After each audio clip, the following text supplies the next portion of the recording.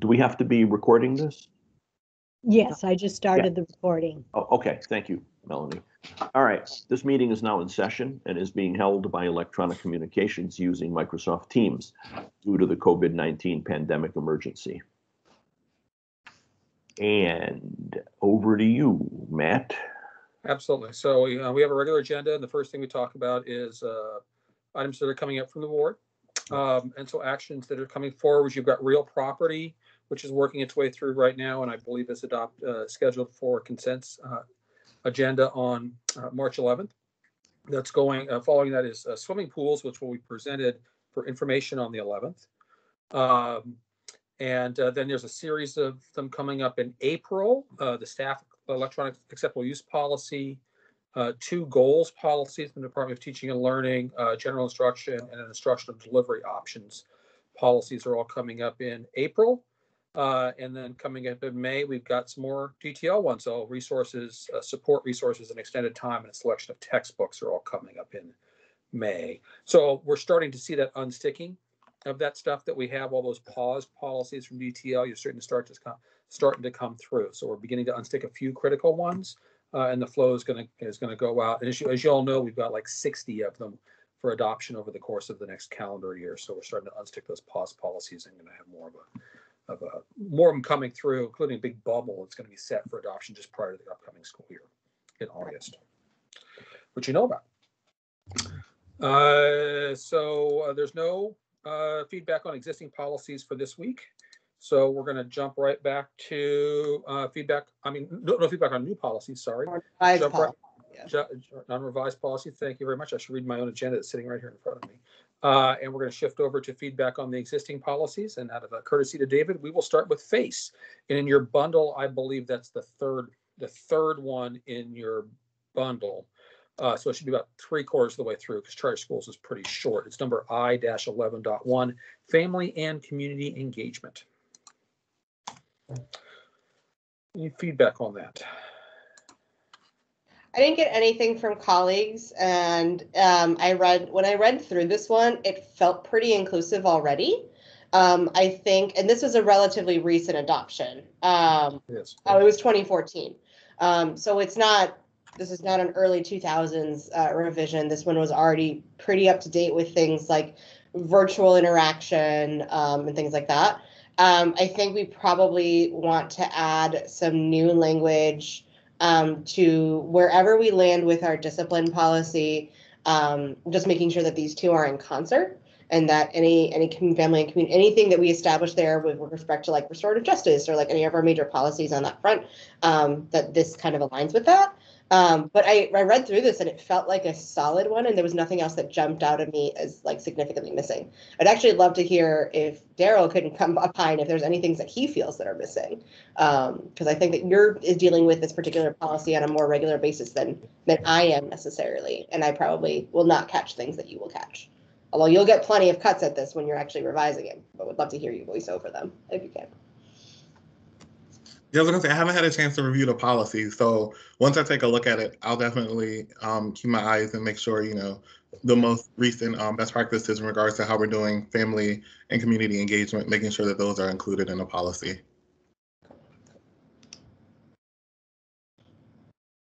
Agreed? Uh, I did not uh, have any, um, anything that jumped out at me, although, um, as Christina said, I'm glad um, Daryl's here because I would like to hear from, you know, the policy expert on this. I, I did speak to um, uh, Aaron Gregory about it, um, as well as Isabel, the face coordinator. Um, and, and they said uh, that the most of the issues they have concern are in the PIP, which gets to some specific details about practices which are outdated, right? So there's some things in here that we're doing now that aren't listed. There's some things that we've changed some labels, that sort of stuff. So um, like you, the policy in general, we felt was the policy itself is, is pretty good. It's the details that are in the PIP um, that are, are sort of, um, a little outdated. And that's an interesting question about how detailed you get your PIP, right? This is one of the more detailed PIPs. Yeah, And we may find, it- we may find this PIP is just a little bit too detailed, right? Because then it becomes out of date too soon and, and at some level, we want to be one level, perhaps one layer down. So it'll be really interesting to see if they put, strip some of the details out of the PIP uh, and move those into other sorts of governance documents, uh, so that the PIP can remain relevant uh, over longer periods of time. So we'll see what they say about that. I don't know what they're gonna do. Yeah. The other thing is that this, it, it, when I read that, when I read this policy, it feels like family and community engagement writ large. That it's talking about the overall strategy about how we engage with families and community members, as opposed to being very narrow to the face coordinator role. Mhm. And I think we just need to decide what level of grain size is this policy designed to address? Is this policy designed to address the big umbrella, non-capitalized family and community engagement? Or is it the very, very small face coordinator in all caps, which is an acronym? Like that, I think, is what we need to narrow down here.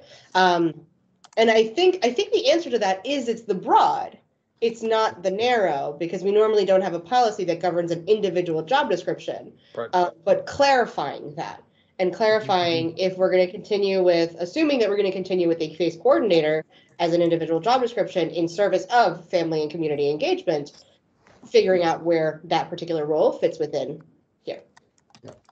Okay, thank you. That's good. yeah, I, I agree. I agree with that. I think it, it is or needs to be aimed at the broader rather than narrow and um I guess this PIP um kind of does both. Mhm. But, you know, in the event that we lose a family and community engagement coordinator or add an additional one or something, you know, this PIP seems a little too detailed. Um, Yeah. although it's a PIP and not a policy. Yeah. Yeah, Uh, so- so I, I don't know, if this is something you guys are gonna have to, Uh, Structurally, you can break it into two. You could have a PIP, which is general practices for staff, and then a second one tied to the face coordinator sort of thing. So there's, there's structural ways of handling that too. Brian? Yeah, well, well, one thing, um, in the embryonic stage of looking at community engagement, as, as far as how families reach us. Um, it's a, I presented like a, a, a scratch up draft to the superintendent about two weeks ago. And, you know, just imagine if you, if you, if, if you will with me for a second, everyone. It's basically, you know, it's something we would put on the website. If you're a parent, if you have a school issue, it kind of gives like a tree of who you contact, right? Mhm. Uh, and so it may, may be principal first, this person. Then there's a second line, I would say a defense, but a second line of people that you can contact to- that you, uh, if you don't get a response. And the last column would be something like, you know, the board, superintendent's office, and so forth. And so, and that was really my brainchild because of how many people reach our office. And also, you know, I'm connected with the, the board office as well on things. And I think a lot of these things could be resolved, you know, if people had a, you know, kind of like, um, like you say, read like a process decision map uh, for when they go to the engage page. So we're in the embryonic stages of that. I showed them a scratch draft so far. So I'm just letting you know that that's something that's being worked on, man. So would that, how would that affect this PIP? Well, it would affect by, I just, my notes say to put you on the revision team, Brian. Okay. how's that? How's, how's that? You know, I, I, because I'm hearing you, Daryl had some ideas and you have some ideas. So I, I mm-hmm. think we want to codify those things in PIPs. And so my, my usual logic, Brian, is to look at the body of knowledge that we want to put out there and then Sure. see where it naturally falls into the PIPs, right? You don't try to pre-structure them. You just sort of think that through and then say, this is this and this is this. I'm a big fan of shorter Yeah. topic related policies and pips. Got Bunk, punk, punk. Uh, a lot of people don't like that, but I think that allows you to be more specific and more granular and more precise in your work. It makes it easier for people to find stuff too. You know, Sure. You got really long, big, bulky documents. You can look through 35 pages to find something. Got Nobody it. can- Nobody can find it. So I think it makes sense, Brian. But so if I, I put some notes in there that'll go back to uh, the revision team to to get your thoughts on that. And we'll see what it all plays out. All right, perfect. Thank you. And I love, I love that as a concept, even just to have on the website of, I have a problem, click here and it'll take you straight to where you need to go. I think that'll be great. The, in the policy here, the responsibilities section, I think Mhm. that's where even if the graph is not in here, but I think that that's where you would outline Okay. for this kind of issue, go da, da, da, da, da. Yeah. For that kind of issue, go da, da, da, da, da, whatever it looks like. I think that's exactly where that would fit Okay, a, in like a narrative version, not in a graphic version. got it. Yeah, yeah, yeah, yeah. I love this idea. This would be because ninety percent of questions, Reed Reed's been doing this for far longer than I have, but ninety percent of questions that I get is I have a problem, where do I go next? Absolutely. And if like that just got mitigated, and if it was like flagging issue, where do I go? Um, and we could just tell people here's the here's the decision tree process. If you got an answer that is like if the answer is not meeting your expectations or whatever, here's how you escalate it. But start here. Start here, absolutely. Yep. If, if, if you want to see it in action, um, there's nothing new under the sun. Alexandria County has it already. And so, Of course they do. Yeah. you were like Alexandria's. I'm just stealing that one. yeah, absolutely, absolutely. It's nothing new under the sun. And so we should be doing it here. So, Yeah. If they figured it out, then we should just do that. Yeah. Yeah. I agree. perfect. Thank you. All right, that's what I've captured that. And that's, that's a great idea. We're getting to knowledge management, which is one of my favorite topics here. How- If only we knew what we knew. If only we knew what we didn't know. That'd be great. Great. All right, thank you. Uh, any other feedback on this policy? Nope. No? No? All right, so Daryl, that's it. We're gonna shift to another one. Um, we're gonna All right. shift to, uh, the ever engaging financial ma- management gifts, gifts to employees. I'm All sure right. your favorite topic.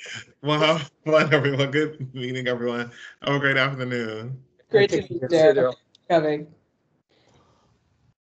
All righty. Uh, oh, I got this in the wrong order tonight. Sorry about that. Uh, and I'm realizing I assembled the bundle in, out of order with what I had on the agenda. Fine. Sorry about that. They All right. figured it out. It's all good. No worries. It's at okay. the top of your document. Yeah. Uh, so the, the bundle's in the right order, but the agenda is not. Oh, anyway, in the alphabetical order. All right. Gifts to employees, G 2.9. Very short policy, a little longer, Pip. So the only problem that I have with the, this one is that if I, I if I were a betting person, I would bet that this one's in violation pretty frequently because of the low bar of what a gift is totaled. And so given the knowledge that I have of like you have the big back to school gift card and then you have the like end holiday gift card and then you have the spring break gift card and you have the end of the year gift card and then you have teachers day gift card and if you add those up together if a family does a $20 gift card for all of them that's more than 100 bucks. So i don't know how we mitigate that because i know that i know for a fact that that happens. So uh we, if, if the best practice and if recommended policy is to keep it at 100 cool we just have to acknowledge that this one probably gets violated pretty regularly and is not one that we're necessarily going to enforce with rigor unless it becomes a massive problem um, because again it's like the accumulation of like the, the 5 10 20 dollar gift cards that can then can definitely amount to over 100 bucks for an individual teacher over the course of a year Does it say over a year in the PIP? That's what I'm trying to read. That's an interesting Yeah. question. Yeah, This yeah. school year. during a school year from During a school one year. student individual Yeah. family or organization Yeah. Okay. So I've, I've noted that the this, this is a little low, and I think I think you're right. That it could very easily add up to more than 100 bucks over the course of a school year. and i don't know what best practice is like if if a hundred dollars is best practice like i know that um i mean when i worked in the senate it was $25 per instance um and so if that is a best practice and saying like no gifts of no more than $25 per individual gift might be a better way of dealing with it um whatever the best practice is here happy to defer to that just that one struck me as that's a low dollar amount for Okay. the generosity of our community. Well, the generosity of some of our community, Correct. the part of the community that can afford it. And the part, I don't know how to fit this in, but the part of this that bothers me is, you know, this goes on more rampantly the farther north you go and less the farther south you go. So, um, you know, as Christina said, uh, we know this goes on and the gift cards and the outright cash gifts at you know christmas time end of the year et cetera et cetera likely adds up to more than a hundred um, dollars per employee. Um, nothing like that occurs in Title I schools. Yeah. So I'm worried that it has an impact on uh, recruitment and, you know, also teacher transfers.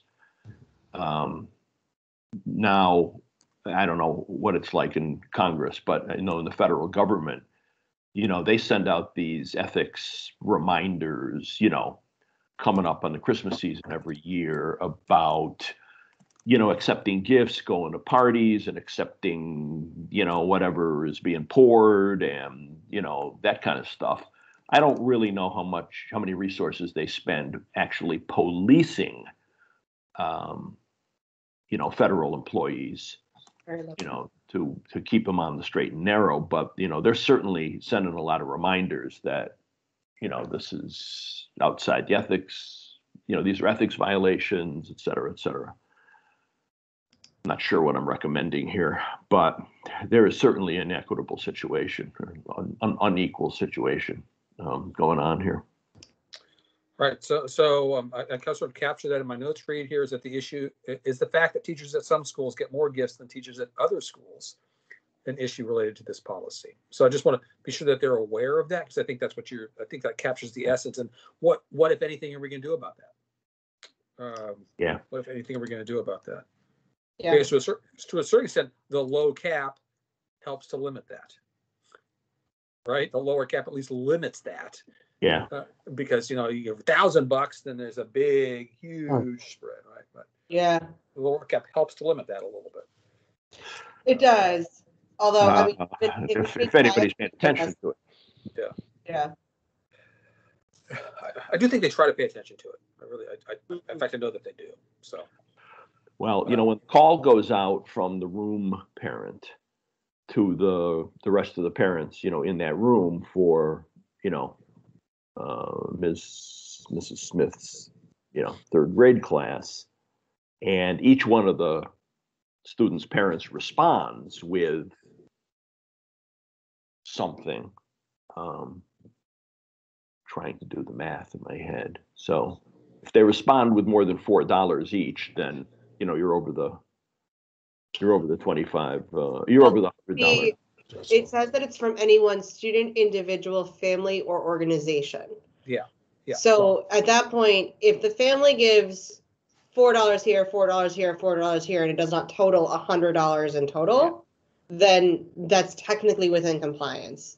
right It's if, as a family, I give a twenty dollar gift card at the beginning of the year, and then another one at like the end of the quarter, and then another one at uh, the holiday time, and then another one at spring break.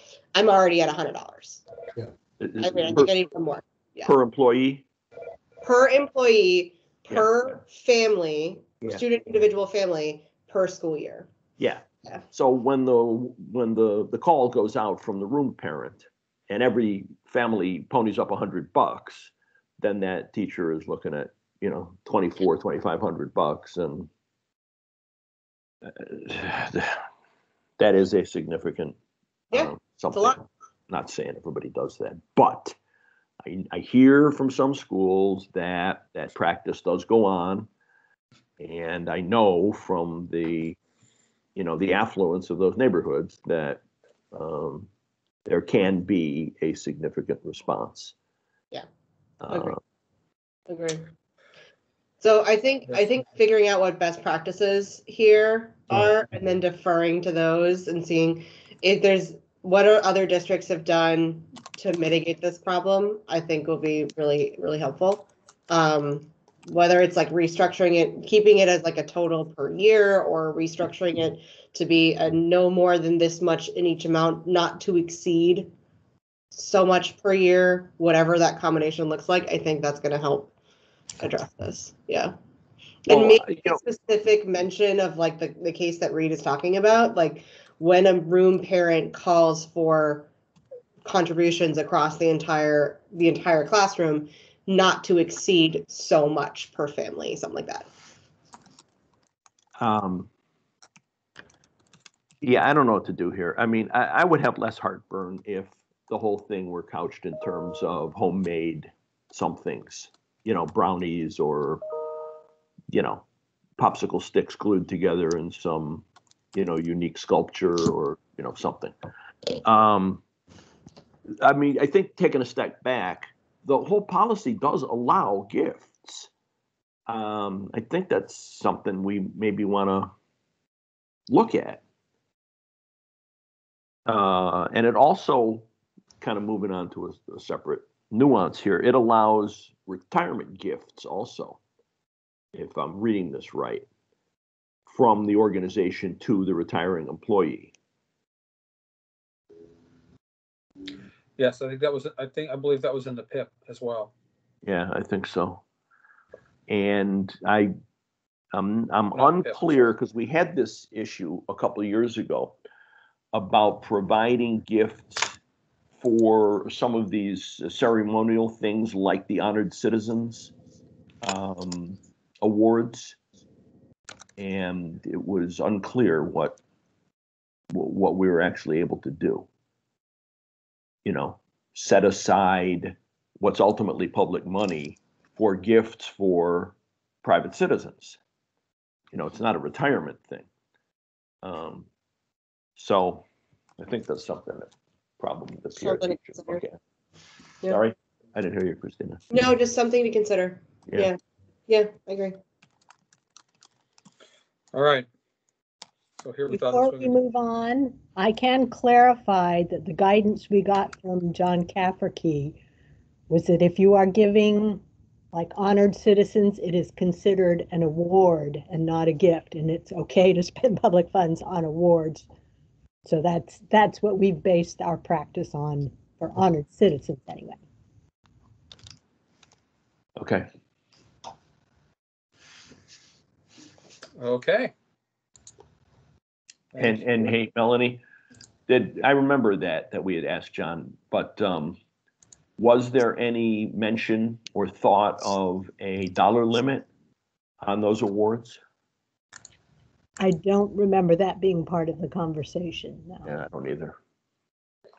Yeah, so, so, yeah, so there's a provision in here. It says awards not, from organizations not affiliated with Arlington Public Schools, right? So is that what you're referring to? No, Those- This those is a, this is a, this is in the case of Arlington Public Schools providing an award to someone who is not an Arlington Public Schools employee.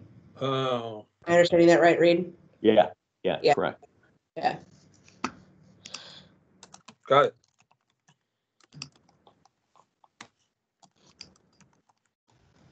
Yeah. Okay. So is that in scope or out of scope in this thing? Right, because this, this, this doesn't talk about that at all. Right. All right. Yeah. Okay, Cool. got it. Okay, thank you. Anything else on that one? All righty, moving on to Gina three point nine, staffing requirements. So, Reed, if you want to go first on this one, I have a lot of thoughts on this one. Oh, okay, all right, then, um,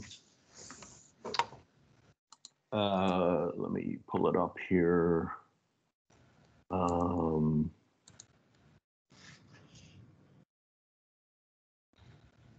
sorry, it's here somewhere.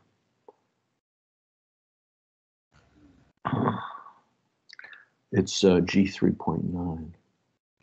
Correct, G three point nine. Um, okay, this isn't it. Starts on page four of the bundle that was sent around, or the bundle that was posted on the website. Oh, okay, uh, thanks. Uh.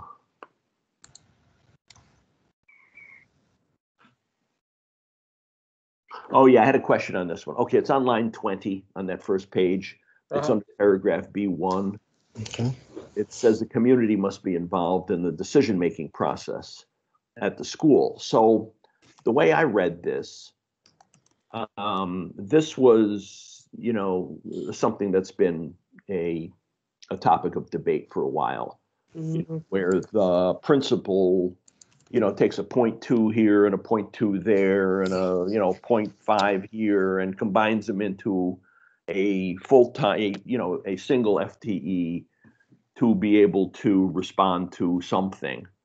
uh, that wasn't anticipated when the budget was, um, you know, first compiled and approved. That's correct. Um, you know, and a lot of times it happens with the specials. Um, you know, you got an art class, it's being offered in high school, it's being offered three days a week. Well, you know, you cut out one of them. And, you know, now you got to point something and you can, you know, hobble that together with something else and that kind of thing. But really, we're supposed to involve the community in that? Because I don't think that happens. I'm not sure it needs to happen.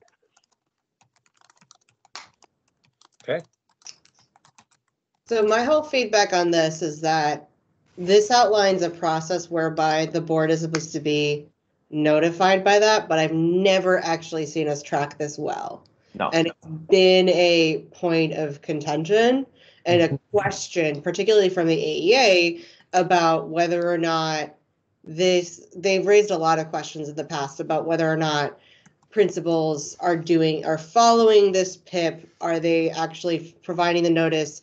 And then at a, regardless of the actual implementation of it and whether or not it's working, taking it to a broader level, if we don't know how principals are reallocating their staff to meet the needs of their schools, then we can't make the choice to change the planning factor accordingly. And the fact that we haven't actually been tracking this for years has made it really, really difficult to see. I mean, from the outs, uh, from the the BA, as the BAC's perspective for years, it always felt like we were giving this bucket of money to principals, and then they were doing like a lot of a lot of staff members just stayed their full FTE, and that was fine. But then they were playing these creative, Yep. like I don't know, they were playing Jenga essentially or Tetris with different components of of partial FTEs until they could fill in a role. And then it was never clear whether or not that person was actually doing, if there are three different job descriptions, are they actually doing all three different job descriptions? Are they doing something totally different? And the lack of tracking there has just made it really hard for us to then go back and talk about the planning factor. And if we're finding that in reality, in order to do mm-hmm. the job well, we need to combine this particular FTE and that FTE. We need to know that, and we need to change the planning factor to do that systematically.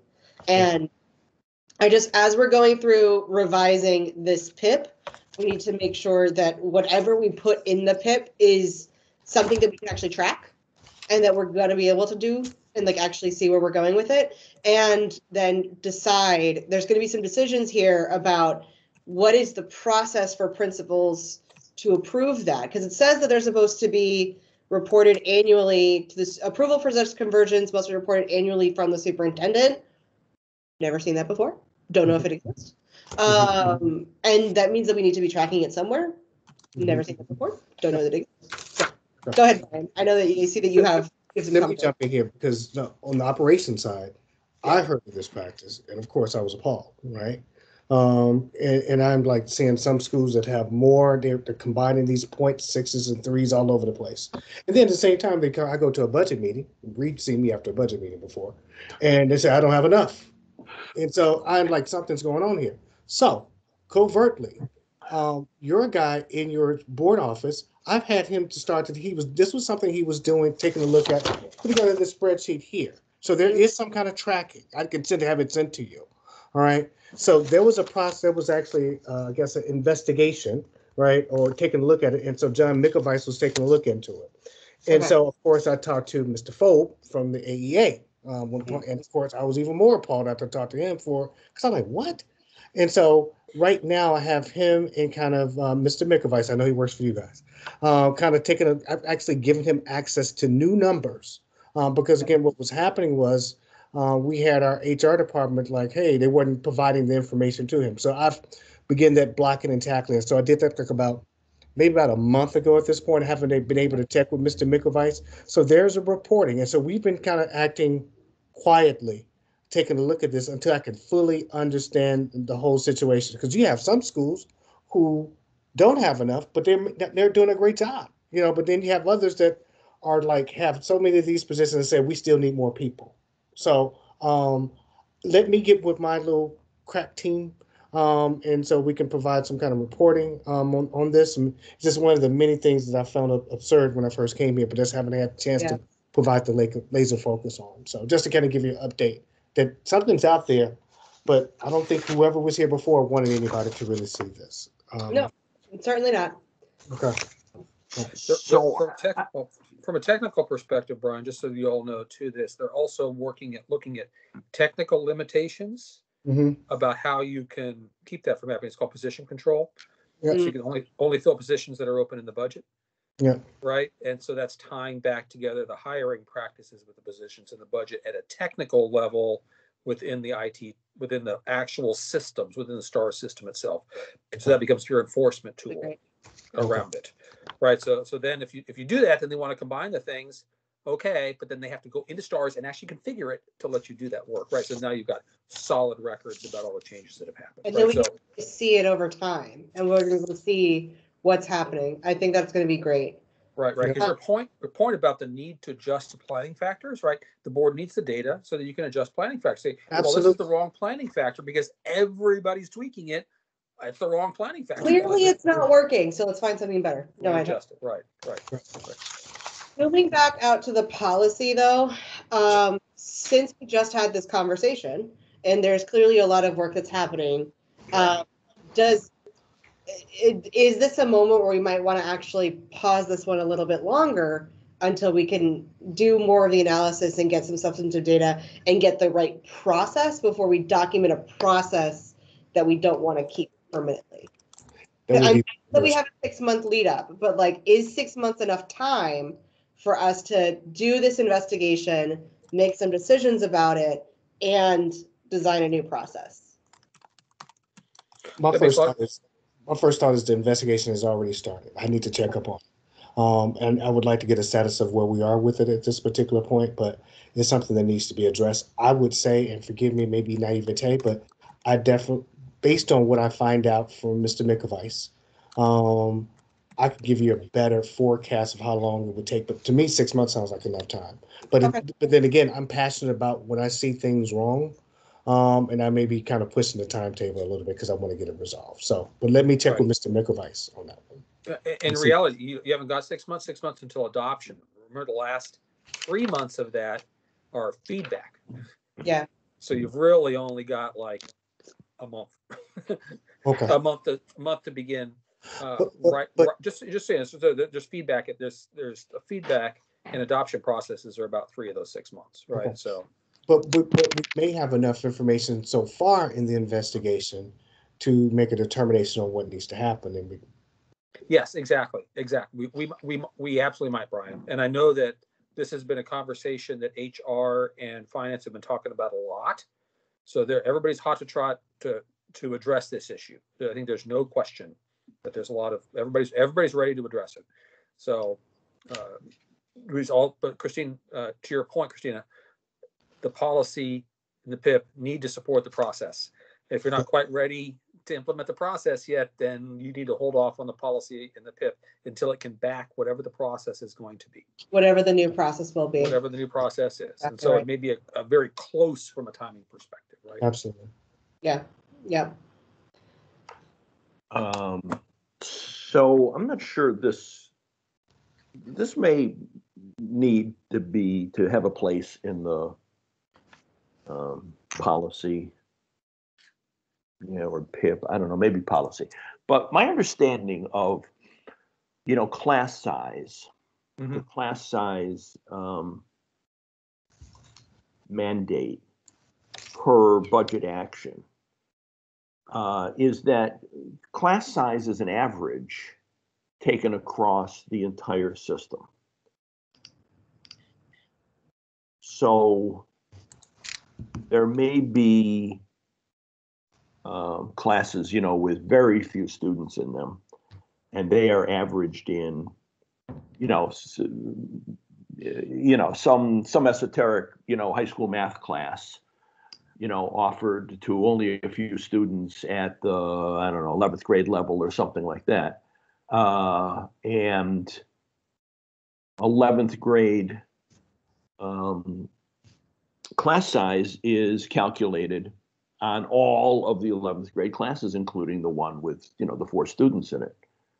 Um, I don't know if that's really true, nor have I ever found, you know, a description of where, um, of how this class size is actually, you know, calculated or manifested. Are, are they still issuing the stoplight class size report? Yeah, that's a great question, because the last still- I saw was two years ago. Okay, because I, I helped color code that one, so I could describe what it used to be. Yeah, Right. So Mm. what they would do was, we, Christine, uh, what, what this was, was it was looking at every single class for the school system broken down by various categories. Who's hot, Grade- who's not, like who's, It was, it was, a, it was a grid, so grades and courses and that sort of stuff. And then it had the average class size, but then it had a stoplight section, so the number of classes that were over Mhm. that versus under and that sort of stuff. And, and so, so it helps give you a visual sense of all that. There's actually also caps. So class cannot exceed X size, right? So, so there's a maximum class size. And if it exceeds that size, then, then you've got to create a new, you've got to create a new class. So there are caps of classes, right? So there's a maximum size of any given class. Some of it's in here, like the kindergarten class, right? Uh, so, so there's some, there's some, actually, it's not, not specific, but there's what's caps. And then the planning factors are more of the average, right? So you want to think about the planning factor as sort of your average class size. You get one teacher for every 23 kids. That's saying that's the average class size, right? But you're right. If I've got a math class with eight kids, then I've got to have another class, a bunch of other classes at 30 kids to compensate for that planning factor so the math all works out correctly. Which has fascinating budget implications Yes. because you look at your cost per pupil for those tiny classes and it's high. you look Yeah. at your ROI there, uh, and that's a really fascinating way to look at the budget. Not that it's anything to do with this meeting right now, but that Yeah. is a it's a And- personal passion of mine. Yeah, and also uh, fascinating and challenging operational uh, issues. Because, you know, when, if you're a school that's very popular and you're adding and adding and adding kids every year, and we haven't gotten around to changing the boundaries, you know, to more level or right size the enrollment, and that extra kid shows up, you're like, okay, so now I'm going to start a whole new class because this kid showed up. So um, there's no more room in my building because Right. you know I'm over capacity anyway. So I need another trailer. You know, facilities and operations. Yeah, I got one more kid, so bring a trailer over. Oh, let's see, my lot is full. Where do you put it? Uh, so this sounds good on paper, but um, I, I don't know that it actually, you know, can work out. Um, that was one thing I wanted to say. The other thing that maybe you want to think about, Matt, in doing this is um, a lot of times the um, principals do this. You know, they cobble together the point two and the point five and the blah blah blah to be able to respond to mid-year, you know, hair on fire, you know, Yep. uh, urgencies. Uh, many times coming from the school board. Oh, I thought up a great idea, and the schools ought to do this and do that and offer this and respond with that. And so, you know, there might be needs to be something in the policy, you know, that says the superintendent recommends, or the school board members will not will keep it in mind that you know mid-year initiatives are out of sync with you know budget and operational you know something. Um, Thank you for that acknowledgement. yeah, yeah, because you know the board says to the superintendent, uh, you know, here's a here's a great initiative. And the superintendent says it to the principals. All right, board wants to do this, and you know it's Right. mid-year, and and the principals know that this stuff happens, so that they have this. I use this term, you know, liberally slush fund of Mhm. you know, point threes and point nines and stuff like that to be able to respond to, you know, what the boss wants instead of having to say to him, Right. Uh, yeah, uh, sure, we'll start that in September, you know, with the new staffing allocation. Right. And the board has a tool to take care of that, the budget, right? Yeah. So You, you, you have a tool at your disposal to do anything you want to. So, Yeah. right. And So- really, that's what the superintendent needs to say when, you know, board member comes up with something like that is, okay, put it in the budget and, you know, we'll make it happen. To be fair, we had a pr- in previous iteration of the board before either you and I were much more likely to be like, "Hey, pet project, throw it in mid-year." Um, we have gotten away from that, so to be fair, it's slightly less of a problem, but it's still not a problem. Yeah. But, but, so- but now is the, now is a great opportunity to codify that in policy. I agree. I think so. agree. Absolutely. Yep. And Codified new policy. initiatives, like unless in case of an emergency, like example pandemic, new initiatives start with the beginning of the school year and are uh, dis- Mhm. are, are taken in context of the budget, something like that. Yeah, Um, and and it's I mean, you know, board members can be guilty of this and you know, sometimes are, but there are also other things like the the whole SRO activity, Sure. you know, came up as a result of the tragic events that occurred in um, Minneapolis in June after our or May and June after our budget was already established for this coming year. But whoops, there's a you know there's a new initiative, a new interest that has to happen. Um, so you know things come up, and everybody knows that. And you know, I'm sure in the superintendent's whatever it's called, operating fund or something, there's extra money there for unknown unknowns that are Mhm. going to come up in the school year. That's what contingency funds are for, right? That's Yeah. why we have, that's, Yeah. that, that's why we have contingency funds. Yeah. In theory, for those things that you don't plan on, right? Those true emergencies. Yeah. A tragedy occurs and that, and we need to respond to that, like COVID. you know, Yeah, you totally. know, Whatever those, that, anyway. Yeah. Don't, don't get me started on these topics. Okay. We could be here all day. I'll go all day. Okay. I think. Oh. Okay. Uh, sorry. Um, I waxed a little too uh, too much on that. Um, th- th- that's all I have to say about this one. Is there more? That's it. Okay, so these are really great points, on- and this is a really, I think this is a really critical policy right now, given the budget conversations, everything else. So I'm hearing, let's get this policy right, Yep. right? This is not just, let's look at this really carefully, be sure it's factoring all these things in. This is gonna set the direction for the future, because eighty percent of our budget is staff. And, and this is the policy that drives a lot of that. Let's, let's, let's get this one right. Oh, Perfect. All right, and I'll do my, I'm, I'm gonna get it, uh, take it to my investigation and, uh, follow back up with you guys. see Um, the one, one just asterisk to the end of that, I just realized that this is also a policy that might end up getting changed in a version of the world where we are pursuing collective bargaining. So let's get it right this time so that we have a very solid foundation when we go into a collective bargaining engagement. So that we know that if we're modifying it, we're building off of a really solid foundation instead of a wobbly foundation. But just making sure that we're remembering that this is, this is one of those policies that will likely get some modifications depending on where we land. Got it, perfect.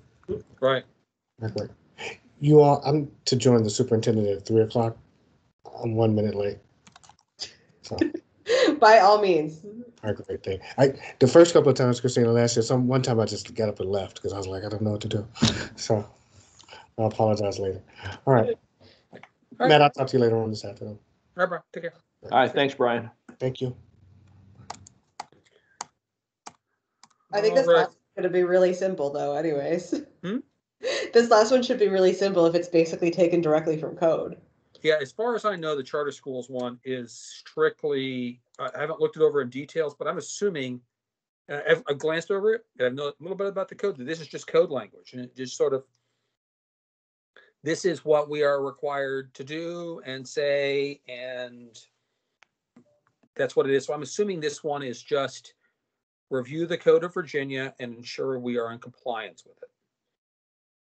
Yep. That's, that's really all, that's really all there is to that. It's not, the board is not attempting to encourage the creation of charter schools or, or sanction that or, or push it forward or anything else. It's, we will do what the code says.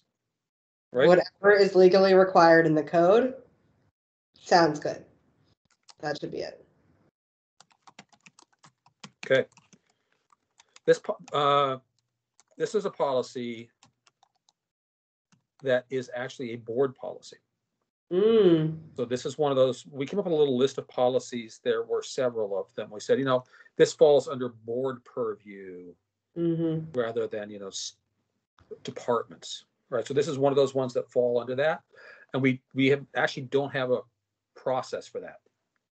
So we're gonna have to, we're gonna have to think about the shepherding process for those. We mentioned a couple of them a couple of weeks ago, recall that? So we just, I think that we just need to put our heads together, the three of us probably come up with a procedure that's gonna work around how to, and how, just how those go through.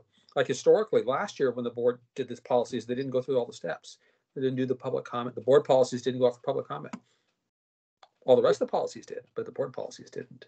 So that was sort of interesting. So I'd encourage you to follow the same process everybody else does. I think that would be better. Um, and I think we should get like feedback from the community. I'm always gonna default to more feedback. Um, yeah, Matt, did I forget an action item to schedule some time with you to go through the ones we talked about a couple weeks ago? Uh, if that was your action item, um, then yes, you did. If that was my I'm action item, then I sorry, did. that might have been, that, that, that might have been on me. Um, we can find, yeah, we can find some time, and if we wanna rope this one in, because Yep. this is literally just gonna be, look at the code of Virginia. Yep. Copy paste. Yeah. But, I have on our schedule, I have a list of all the policies that we think are board policies. okay, wh- whichever those are. So we will just talk about all of those. A lot of those are like the advisory committee ones. This one, there's, there's, there's just, there's, there's a few more like that, but we'll just, we'll, we'll treat them all as a big, as a group and we'll sort of make a decision about how we want to proceed with those. okay, that sounds good. Um. Reed, do you wanna be in part of, in the conversation about talking about the process? Of how we're gonna do triage these, or, Um, sure. Yeah, mean- we'll find time for the three of us to huddle and talk about the process? Yeah. okay. Well, The PRT has a, sta- we have a standard process. You can We're just, not gonna change that. you can just, you can follow our standard process. The, the only complexity is that um, we always have what's called a shepherd. So a person who is moving the policy through the process, right? And that's what the PRT members do. So who's going to do that? I mean, that could be, I I could shepherd them through if, if you want, which is said, this is next, this is next, this is next, or somebody else can. It's not a very complicated process and it's where, it's very, very well documented. So uh, you form a committee, et cetera, et cetera, et cetera. Um, and away you go. So, I think you're probably the best person to shepherd them, just. Yeah. Speaking for myself, uh, because even if there's a policy, it's likely that in all of the other craziness that's gonna happen, then we're gonna lose it. In terms of actually drafting them, I'm happy to contribute on that front. Um, but I think that in making sure that the next, the steps are followed, you're already doing that with the other ones too. So I think that that's helpful. right, right. And, and what I do is I, I coach everybody else on the process. Yeah. Right. So I, I, I coach everybody. So I can do it personally or Melanie's going to kill me, but we could um, show somebody in the board office how to do it too. Somebody else in the board office how to do it too. Uh, it's not a horribly time consuming process. Um, so, but, but I, I'm happy. you I can do it. Um, it, it, it's not hard for me to do it all. Um, and it's well laid out. What do you think, Reed? Um, okay. All right. So I'll, I'll, I'll just, I'll sort of do it from a, as long as there's not having to write the content, you know? Yeah. If I get into writing content, that's, a- that's, a- that's a whole other time commitment. Again, I like writing policy, so I'm not, doesn't bother me at all. Uh, But but, it could get- it could get time consuming. No, and I'm happy to do the writing if you could do the shepherding.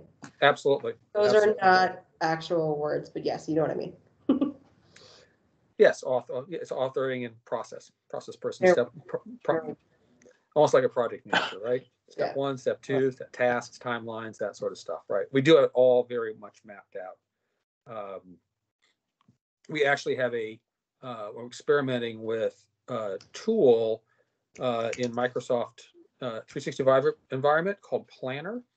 And it actually maps out all of the steps. And I actually have templates built. So step one, you do this with all the descriptions and all the subtasks. So we can, we can fiddle with that because then it's really obvious, got to do this, then we got to do this, then we got to do this. So Uh, it's like a project, it's a project management software. it Yeah. is, it, it, it's, it's a very light version of project. And so Yeah. we've simply built, um, right. And then we built templates around that. So there's six stages that the process, that the policy goes through. Uh, and then all of the subtasks, and those have templates. You just copy it, change the policy name, assign it to somebody. Oh, you, you, here's your checklist. Boom, boom, boom, boom, boom, No, boom, boom. do Things. Here's Yeah. your checklist. Here's how the timelines work. Here's, here's what you put the data. So we can track everything, gets on the, all the agendas and all the rest of that sort of stuff. So it's all real straightforward. Helpful. I love it. Yeah. I am APS process man for a reason. I am the process guy. Yeah, Okay. love it. All right. I, I think that's it. Okay. I don't have anything else for the good of the cause. Yeah. Well, So, so Christina, you, we'll, we'll reach out. and We'll have a we'll have a little. We'll touch base on what, on the drafting that needs to happen. Um, and I can spend some time drafting it. Um, ballpark timeline, what do we think we're gonna need based on those, those other policies? Are we gonna need it like by the end of next week, or do we have a couple weeks on it? I'd have to go back and look at the dates. Um, I don't, I don't really remember. Typically, the way that it works is, uh, there's about uh, a month to a month and a half after we get the initial feedback, uh, before we're supposed to have a draft Okay, um, a draft that comes back to the PRT, the ELT, and then back to the subcommittee, right? So, so that initial feedback takes a couple of weeks. Um, but in practice, you know, it, it doesn't kill us to have to push back the, oh, if we don't hit those, all that matters is that the, the, the adoption date gets pushed back. I mean, it's not, yeah. it's not, it's not devastating. We're not talking about. things, we're not talking about a real emergency here. Yeah, no, I agree. Um, Right, so, so we can make adjustments there once we get our, our, our, our feet on the ground. Um, because it's about six months, but you can do it in four, depending on, on your sense of urgency around them. So, Yeah, I'm just thinking this this week for for for me is just a very complicated week between work and um, school board meetings in the evenings. So there's no way I'd be able to look at it this week. But if we can do like towards the end of next week or the week after, I can actually sit down and think about it and process it in an intention. Yeah. that's, that, that sounds good. So what I'll do is I'll do my homework. I'll get all of the board policies, understand what those are. Yeah. So that we can talk about that as a collective group, even if they're following different schedules. We understand that, we get the drills and routines down, so it just sort of flows, flows correctly. We may make some adjustments to some dates based on what your schedule looks like. Exactly. I think that'll be great. And we'll, we'll schedule some time. Um, what does later this, uh, actually, what does early next week look like? Cause that might be the Uh, best way of doing this. Yeah, let me look at my calendar here. Uh, so the week of the fourteenth. Mhm. Um, yeah, it's actually looking pretty good. Um, it's looking pretty good. I mean, I have meetings. I have meetings scattered throughout the time, but I'm not, I'm not being any- Tuesday morning. Tuesday morning is good. I, my first meeting's at one o'clock in the afternoon. Okay, can we do a ten to eleven? Yep. Great. Do you want to send me the invite or want me to send it to you? Uh, if you could send that to me, that'd be great.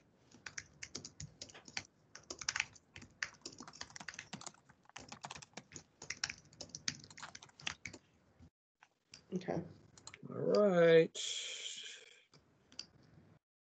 Microsoft Teams meeting, you said ten to eleven? Mm-hmm. Yep.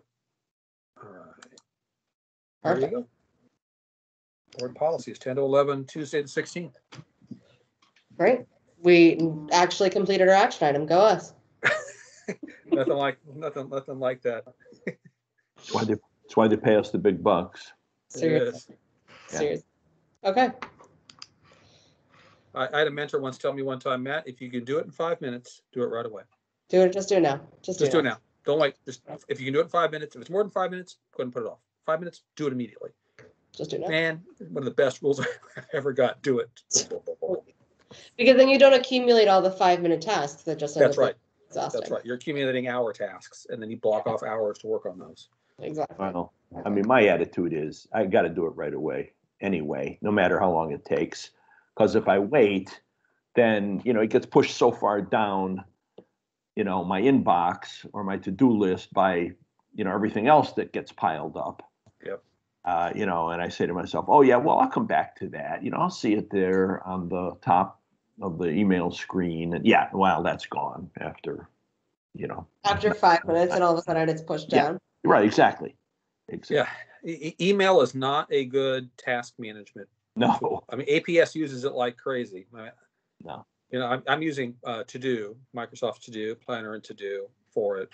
And I, and I, I like that. It's working pretty well for me. So, We work, te- we use teamwork at work and it's amazing. I love the notification settings because I can send myself, if there's a task that I have not consciously remembered, I can send myself reminders. It's excellent. Yep. Yeah. yeah. There's all sorts of ways of making this sort of stuff work. Yeah. Agree. So- Okay. Big fans of that. All right. So is that it? Are we set? Yeah, I think I so. guess so. Reed, Yeah. you need to formally end the meeting. Oh, oh. Uh, how do I do that? I You think say just- this meeting is adjourned. Oh, I just, okay. We're all set, right? Yep. Okay, all right, then this meeting is adjourned. Thank you all. Thank you. And Honestly, we are adjourned. All Bye, right. everybody. Take care, guys. Bye. Bye. Thanks, Matt. Thanks, Christina. Thanks, Melanie.